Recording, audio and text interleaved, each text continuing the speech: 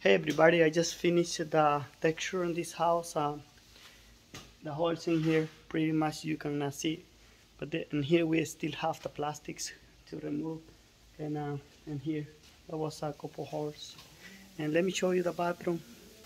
well here, that's the way we covered it. So if you got a thinking doing your repipe, don't worry. It's gonna be very covered. Nothing is gonna be overspray like I do, I cover in the very corner. I don't want to overspray those walls because those walls are not um, holes in there. So I just spray the ceiling and I cover all around. So don't worry, not gonna be too much overspray. It's gonna be a little bit, but not too much.